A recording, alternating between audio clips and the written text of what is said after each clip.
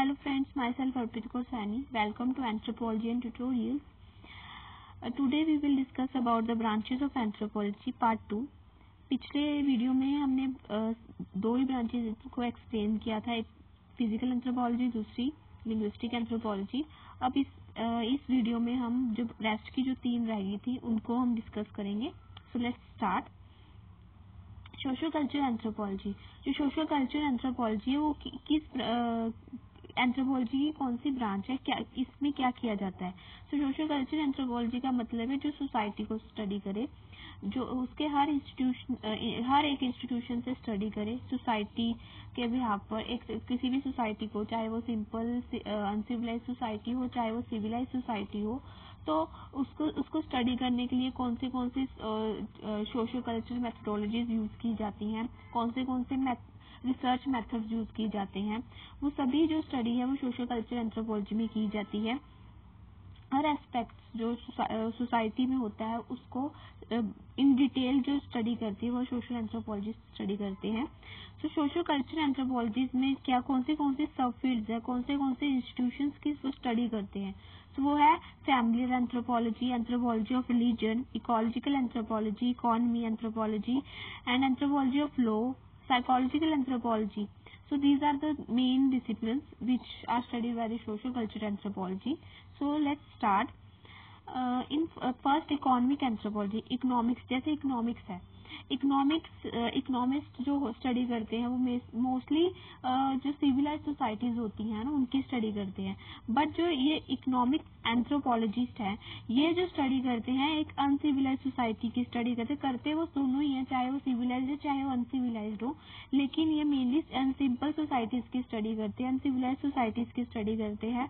उनकी, उनके ways of life के अकॉर्डिंग कि वो किस चीज़ पर ज़्यादा डिपेंडेंट रहते हैं, वो कैसी फैमिली में रहते हैं, उनकी प्रोडक्शन कैसे होती है, वो कौन सी एग्रीकल्चर पे डिपेंडेंट है या हंटर हंटिंग एंड गैदरिंग या फ़ूड गैदरिंग के के बेसिस पर अपनी लिविंग को अपनी नीड्स को फुलफिल करते हैं। उनकी फ़ूड अवेलेबिलिटी या वाटर अवेलेबिलिटी या उनकी नीड्स जो भी हैं, वो उनको कैसे फुलफिल करते हैं? उनकी स्टडी एक इकोनॉमिक एंथ्रोपोलॉजिस्ट करता है। और उनकी, उनके कंडीशंस को उनके साथ बाय पार्टिसिपेट करके उनकी कंडीशन को जानता है और उनके मेथड्स को जानने की कोशिश करता है इनकी इकोनॉमिक्स है, इनकी जो ये इन्वेस्टमेंट्स है कैसे करते हैं। ये इन अ ग्रुप करते हैं या जॉब करते हैं या कुछ ऐसा काम करते हैं तो इनकी इकोनॉमी कैसे इफ़ेक्ट होती है या कैसे इन्वेस्ट किया जाता है, इनकी प्रोडक्शन कैसे होती है, इनकी एक्सचेंज एक दूसरे में कैसे बांटते हैं जैसे शिफ्टिंग कल्टीवेशन हो गई। शिफ्टिंग कल्टीवेशन में एक पर्टिकुलर एग्रीकल्चर होता है। तो उस एग्रीकल्चर में कितने फैमिलीज़ एक पर्टिकुलर प्लॉट पे डिपेंडेंट होती है एक सिंपल सोसाइटी में?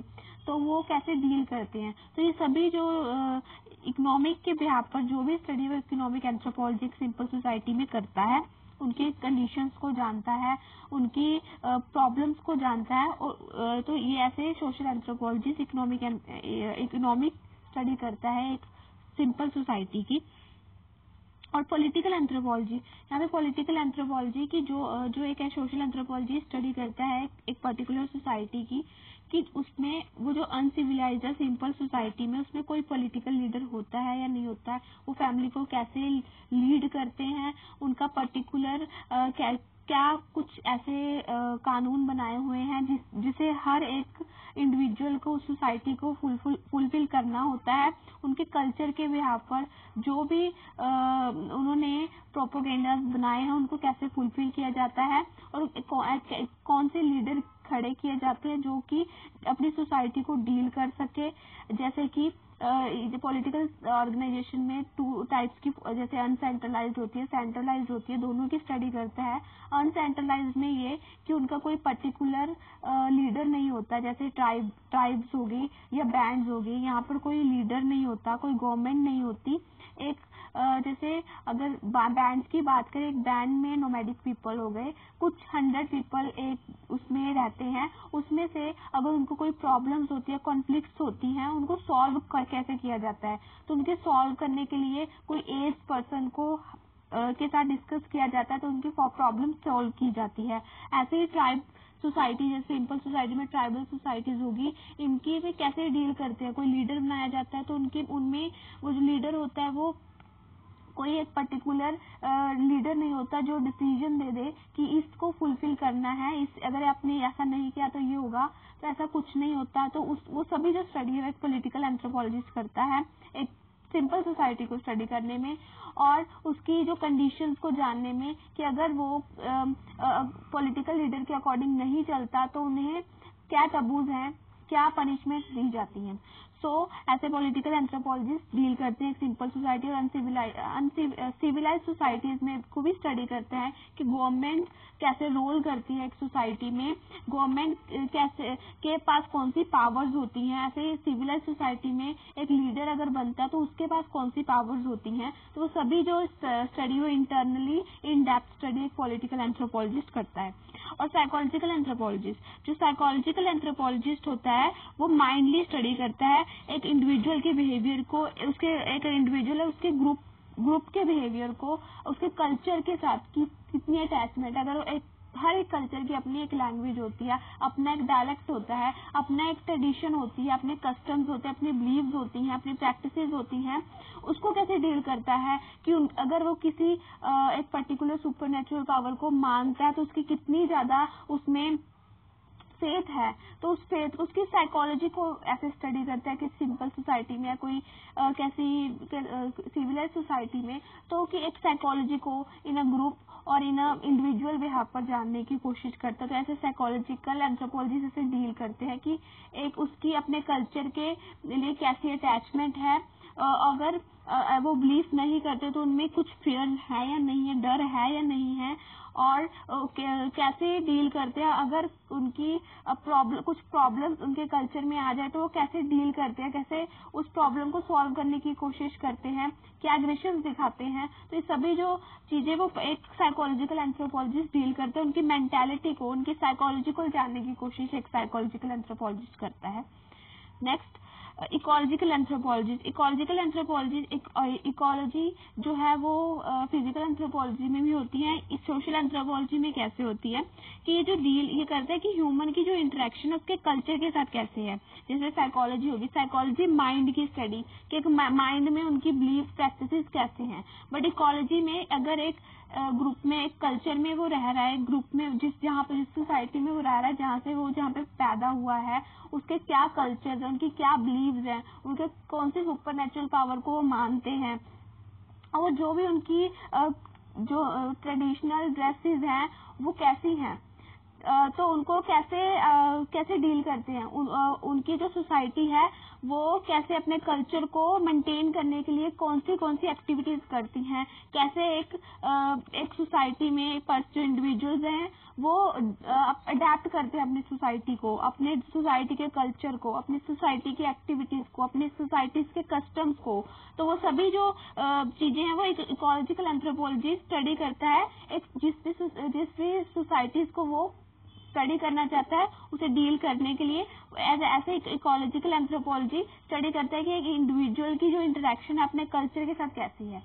सो so, उनके जो अवेलेबिलिटी है उनकी जो नीड्स है वो कैसे फुलफिल की जाती हैं। उनकी जो जो नीड्स है वो सराउंडिंग में इजी अवेलेबल होती हैं या नहीं होती हैं तो उनको कौन से स्ट्रगल करनी पड़ती है उस चीज़ के लिए right and family anthropology family anthropology जो है वो डील करती है कि रेजिडेंस वे ऑफ़ रेजिडेंस अब मोस्टली जो 70 परसेंट जो लोग हैं वो पैट्रिलिनियल सोसाइटी में ही रहते हैं जहाँ पर एक अगर एक मैरिज होती है तो एक पर्सन है मैन के मैन के साथ ही एक, एक उसकी वाइफ को जाना पड़ता है। लेकिन कुछ ऐसे रेजिडेंस कुछ ऐसी सोसाइटीज हैं जहाँ पर जैसे अरुणाचल प्रदेश हो गया केरला हो गया या कोई और भी जगह है जैसे अफ्रीका में भी कुछ ऐसे है जहाँ पर वे ऑफ़ रेजिडेंस अलग है। जैसे कि पैट्रिलिनियर सोसाइटी जो कि जहाँ पर जो प्रॉपर्टी है वो जो फादर की इनहेरिट होती है अपने बच्चों के लिए को। और मैट्रिलिनियर सोसाइटीज भी है जैसे अरुणाचल प्रदेश में भी हैं कुछ जगहें जहाँ पर मैरिज करने के बाद जो वाइफ है अपनी मदर के घर पे रहती है जो प्रॉपर्टी है उसकी मदर की इनहेरिटेंस उसके बच्चों की की जाती है राइट एंड uh, कुछ ऐसे न्यू लोकल फैमिलीज़ हैं एवी लोकल है एम्बी लोकल है ड्यू लोकल है। मतलब एम्बी लोकल में कि पर्सन की, कुछ टाइम के लिए अपने फादर के घर पे रहेंगे, कुछ टाइम के वाइफ के घर पे, कुछ टाइम के लिए हस्बैंड के घर पर, वो उनकी अपनी अपनी मर्ज़ी होती है। ड्यू लोकल होता है कि वो न्यू लोकल होता है कि वो अपनी मर्ज़ी से कहीं पर भी रह सकते हैं as a nuclear family so types of family जो एग्जिस्ट करती हैं, उनकी हर हर सोसाइटी की जो स्टडी है, वो एक सोशल एक फैमिली एंथ्रोपोलॉजिस्ट करता है right and anthropology of law anthropology of law जो है, वो डील करता है कि अगर कोई सिंपल सोसाइटी है या कोई सिविलाइज सोसाइटी है मॉडर्न सोसाइटी है, उसमें ऐसे कौन से कौन से कौन से पनिशमेंट्स है या कानून है, उसमें कौन से कौन से आर्टिकल्स या कुछ ऐसे कुछ बनाए हुए हैं जिसे अगर कोई इंसान तोड़ता है तो कौन सी पनिशमेंट दी जाती है उसे? पनिशमेंट तो जो भी क्राइम करता है या कोई रूल तोड़ता है या रेगुलेशन रूल एंड रेगुलेशन के अकॉर्डिंग नहीं चलता तो उसे क्या क्या फेस करना पड़ता है? तो वो एक एंथ्रोपोलॉजी ऑफ़ लॉ में एक anthropologist social culture anthropologist study करता है। सिंपल सोसाइटीज में मेनली इतना ज़्यादा सिविलाइज सोसाइटीज के अकॉर्डिंग नहीं होता, कि गवर्नमेंट नहीं होती पॉलिटिकल लीडर नहीं होता तो उसमें फिर भी उसमें कुछ टबूज बनाए जाते हैं, कुछ ऐसे रूल्स बनाए जाते हैं, जिसको अगर कोई इंसान तोड़ता है तो उसकी पनिशमेंट दी जाती है। चाहे वो पनिशमेंट वो पूरी विलेज उसको दे, चाहे कोई पर्टिकुलर पर्सन उसको दे, जो भी एक रूल के अगेंस्ट जाता है। तो ये जो सभी स्टडी है एंथ्रोपोलॉजी ऑफ़ लॉ में की जाती है, कि कौन से टबूज या कुछ ऐसे आर्टिकल कुछ कॉन्स्टिट्यूशन बनाया हुआ है, जिसे अगर कोई पर्सन तोड़ता है, उसे कौन सी पनिशमेंट दी जाती है? वो एंथ्रोपोलॉजी ऑफ़ लॉ में एक एंथ्रोपोलॉजी स्टडी करता है। Last is anthropology of religion अब एक एंथ्रोपोलॉजी रिलीजन धर्म को स्टडी करता है। एक सोसाइटी को अगर वो स्टडी करना चाहता है तो वो जानता है कि जो वो प्रैक्टिस करता है, वो कौन से सिंबल्स को, कौन कौन से सिंबल्स यूज़ करता है, क्योंकि हर एक सोसाइटी का अपना एक ट्रेडिशन होता है, अपनी एक बिलीफ होती है। जैसे पंजाबी मोस्टली सिख फैमिली गुरुद्वारा को मान, गुरुद्वारा को मानते हैं, हिंदू फैमिली टेंपल को मानती है। ऐसे हर एक सोसाइटी का अपना एक अपना एक बिलीफ है, अपना एक जैसे गुरुद्वारा टेंपल है तो ऐसे ही तो वो वो सभी स्टडीज़ एक एंथ्रोपोलॉजिस्ट करता है, उसके उनके साथ, लोगों के साथ रहकर उनके कस्टम उसके बिलीफ को जानता है कि क्योंकि कुछ सिंपल सोसाइटीज में ऐसा भी होता है कि वो डॉक्टर पे डिपेंड नहीं होते, वो मेडिकल मैन पर डिपेंड होते हैं, जो मेडिसिन देते हैं। वो मेडिसिन वो चाहे वो कोई जड़ी बूटी हो गई, जड़ी बूटी के भी पर कि ये जड़ी बूटी इस चीज़ को हील करती है, ये जड़ी बूटी इस चीज़ को हील करती है। तो उस पर डिपेंड करते हैं कुछ सिंपल सोसाइटीज तो ये सभी स्टडीज़ एक एंथ्रोपोलॉजिस्ट करता है। तो कुछ ऐसी सिंपल सोसाइटीज पाई गई हैं जहाँ पर ब्लैक मैजिक या व्हाइट मैजिक को भी माना जाता है। तो ये सभी स्टडीज़ एक एंथ्रोपोलॉजिस्ट एक सोसाइटी में रहकर जानता है। एंड कुछ ऐसी सोसाइटी जैसे कि क्रिश्चियंस की बात करें, वो पेस्ट को ज़्यादा मानते हैं। तो वो वो हेरिडिटरी है, जो ये रोल मिलता है, वो हेरिडिटरी होता है, या फिर इसकी ट्रेनिंग दी जाती है। तो कुछ सॉफ्टवेयर हो गए। ये भी एक ऐसे कि अगर किसी को कोई कोई पर्सन बीमार है, कि शक्तियों के व्याप पर उसे ठीक किया जाता है तो ऐसे ऐसे बिलीव जो है एक एंथ्रोपोलॉजी एक एंथ्रोपोलॉजिस्ट एक सोसाइटी में रहकर उसको जानता है उसको स्टडी करता है। तो ये सभी जो आ, हर एक तरह से एक रिलीजियस के बिहार पर जो स्टडी है वो एक सोशल कल्चर एंथ्रोपोलॉजी सोसाइटी में रहकर इन इन कॉन्सेप्ट को स्टडी करता है इन टॉपिक्स को स्टडी करता है। तो ये सोशल सोशल कल्चर एंथ्रोपोलॉजिस्ट के ये रोल होते हैं, इसी इंस्टीट्यूशन में ऐसे वर्क करता है। Next is archaeological anthropology this is a fourth branch of anthropology जो आर्कियोलॉजिकल एंथ्रोपोलॉजिस्ट है, ये मेनली स्टडी करते हैं एशियन टाइम की।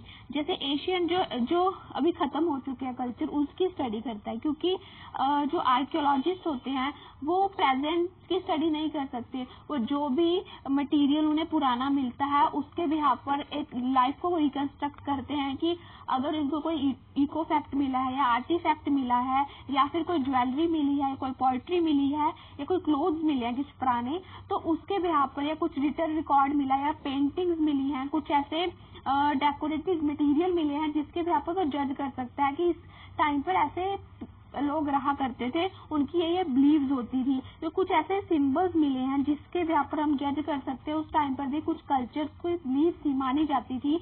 और लो, लोगों का भगवान पर विश्वास था।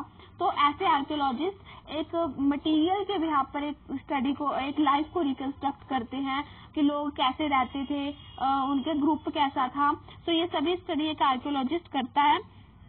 तो आर्कियोलॉजिस्ट को टूल वेपन वगैरह मिला है, उसके भी आप ऑर्नामेंट्स हो गए एनिमल बोन्स होगी किस तरह के एनिमल्स उस टाइम में पाए जाते थे, अगर इकोफैक्ट्स मिलते हैं, किस तरह की इकोलॉजी थी, किस तरह के ट्रीज वगैरह थे, किस तरह की वेजिटेशन थी उस टाइम पर वेजिटेशन के यहाँ पर ये भी जज किया जाता है किस टाइम किस टाइप का इन्वायरमेंट था उस टाइम पर, और ऑर्नामेंट्स जैसे कि ब्रॉन्ज हो गया आयरन एज का मटेरियल है या फिर उससे पुराना पेलियोलिथिक टाइम का कि टूल्स जो स्टोन टूल्स मिलते हैं कि वो हंटिंग एंड गैदरिंग पर्पसेस के लिए यूज़ किए जाते थे। तो ये सभी जो है आर्कियोलॉजिस्ट स्टडी करता है। सो so, आर्कियोलॉजिस्ट फिर उसके बिहार पर जो भी उन्हें मटेरियल मिलता है उनको पोजीशन करता है उन्हें सीक्वेंस सीक्वेंसली लगाता है कि ये जो मटेरियल ऑर्नामेंट्स या आर्टिफैक्ट्स या इकोफैक्ट्स जो मिले हैं, ये इस टाइम का है, ये वेपन या टूल इस टाइम का है।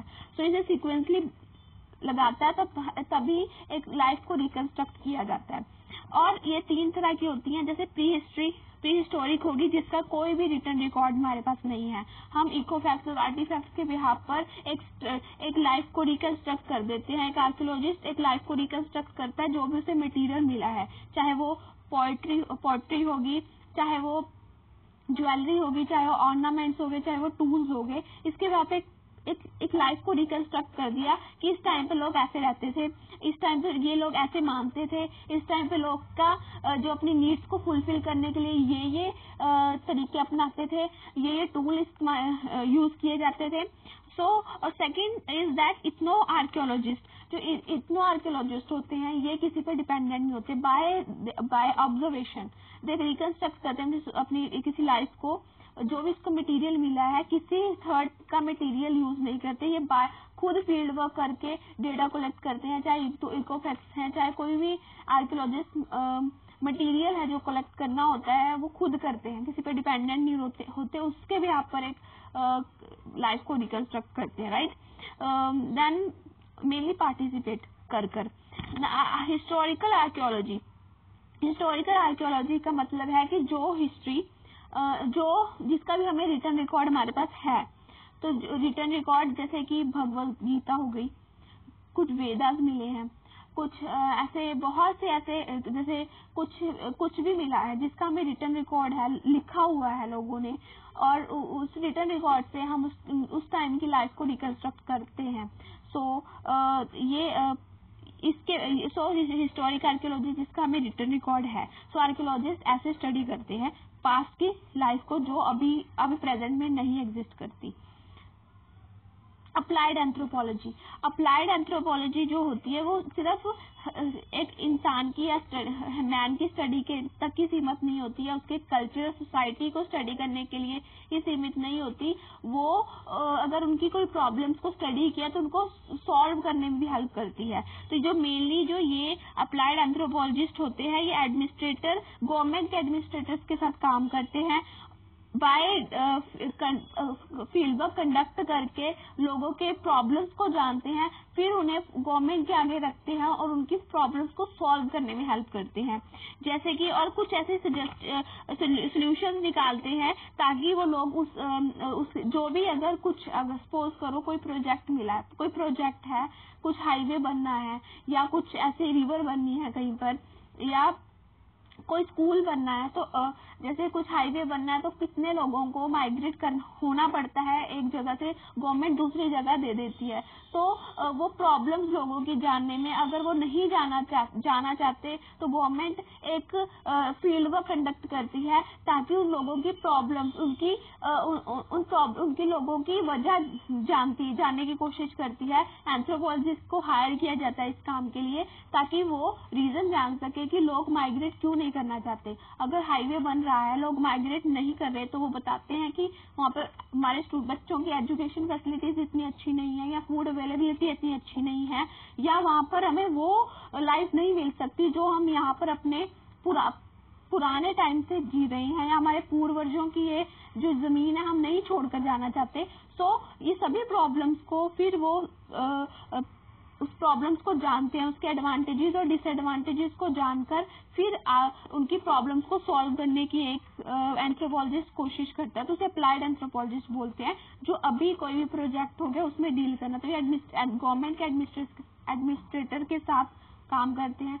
लोगों जो भी प्रॉब्लम सोसाइटी में हो रही है चाहे वो किसी प्रोजेक्ट के रिगार्डिंग हो चाहे किसी भी प्रॉब्लम के रिगार्डिंग तो रिसर्च करके उसका सोल्यूशन निकालते हैं, उसकी प्रॉब्लम तक ही सीमित नहीं रहते, बल्कि उसका सोल्यूशन निकालने में भी हेल्प करते हैं। तो ऐसे एक अप्लाइड एंथ्रोपोलॉजिस्ट हेल्प करता है।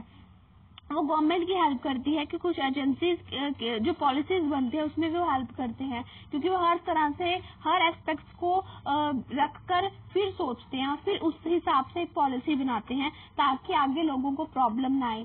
अगर कुछ सोसाइटी में गलत हो रहा है उसका रीजन क्या है? उसका रीजन